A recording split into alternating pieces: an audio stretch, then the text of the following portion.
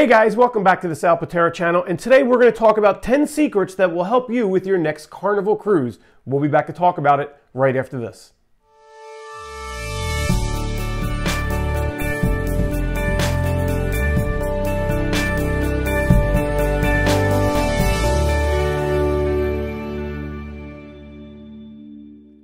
Hey guys, welcome back. Now, one of my very first YouTube videos was secrets on Carnival cruising and things you, you may or may not know and secrets that you should try because most of them are free on your next Carnival cruise. Now that video went viral with almost 3 million views, but it's been up there for two years, so it's really time to update that video. So in this video, we're gonna give you 10 tips and hacks for your next Carnival cruise.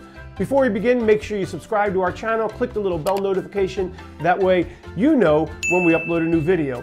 Also take a moment and share this video on your social media. We are giving away a free cruise when we hit 100,000 subscribers and you had to have shared one of our videos on your social media in order to win. So now's a great time, hit that share button, share it on your Facebook or your Twitter.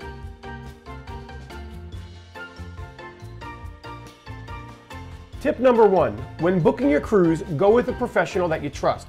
You don't have to book your cruise directly through Carnival.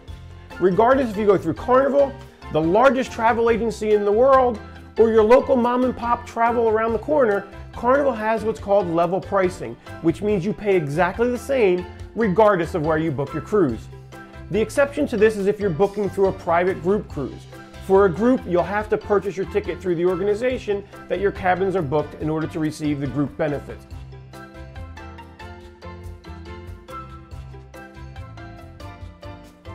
Tip number two, many people get frustrated that they can't change their dining time when they book their cruise. Early dining is far the most popular and sells out very fast. If you can't get assigned a dining time in advance, simply go to the main dining room usually the dining room closest to midship at about 1 p.m. on embarkation day. There you'll find the maitre d' and he can almost always change your dining time to the dining of your choice.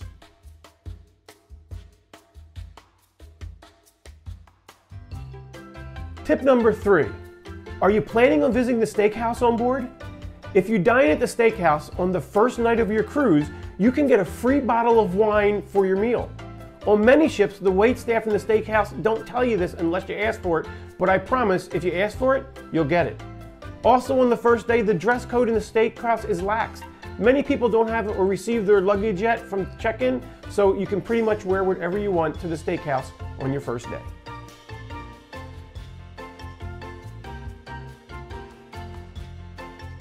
Tip number four, want to save a little on your drinks? Consider buying the Bubbles package. This will give you unlimited soda pop and fruit juices from any bar on the ship. You can also buy the Cheers package, which will give you up to 15 alcoholic drinks per day and unlimited soda pop and fruit drinks. But what many people don't know is it'll also give you unlimited specialty coffee from the coffee bar and even unlimited milkshakes on board. If you're not buying a drink package, you can also save money by bringing your own beverages on board. You can bring on board a 12 pack can of soda pop for each person in your cabin. Each adult 21 years of over can also bring a bottle of wine or champagne up to 750 milliliters as well. Now be careful, if you bring wine or champagne to the dining room, they will charge you a corking fee, and this is regardless if you cork it yourself or they cork it for you. The upside to bringing it to the dining room is you don't have to finish your bottle.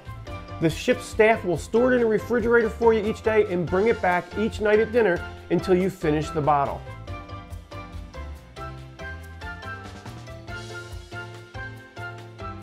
Tip number five, don't drink too much on the first day of your cruise. Many people board the ship and are so happy to be on vacation that they start drinking excessively right away as soon as they get on board.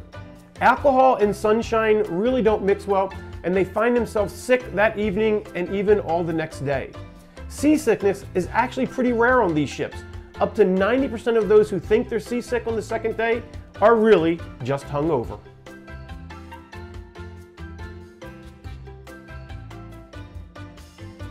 Tip number six, Many people like to put their sail and sign card on a lanyard. They sell them in the lobby of the ship when you board. They run about eight bucks. But did you know you can get one for free?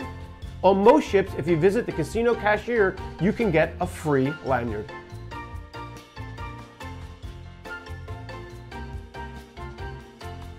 Tip number seven, and this one is easy and often overlooked, and when it is, I gotta tell you, people are very frustrated. And that is, turn your phone on airplane mode as soon as the ship leaves your embarkation port. If you don't, you can expect a very large phone bill when you return home.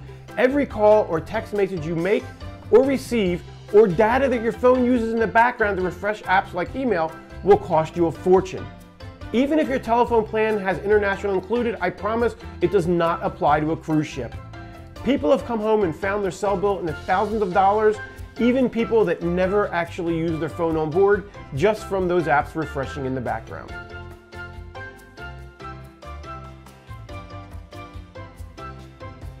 Tip number eight, cruise ships are a great place to try foods that you would never eat anywhere else. In the main dining room, you can order more than one entree. So have fun. And if you don't like one, they'll bring you another. You'll also find a specific selections of, quote, have you ever tried, end quote, each night. These will bring things like escargot, rabbit, alligator, etc. Try them, they're included in your cruise fare, and you might just find something new that you like that you would never have otherwise.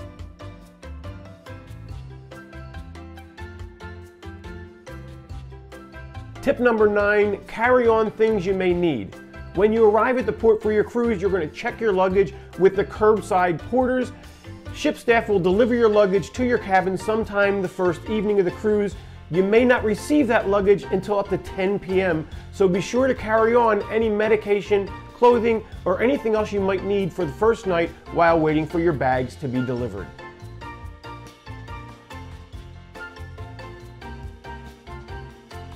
Tip number 10 is buy any packages online at least 48 hours prior to your sailing.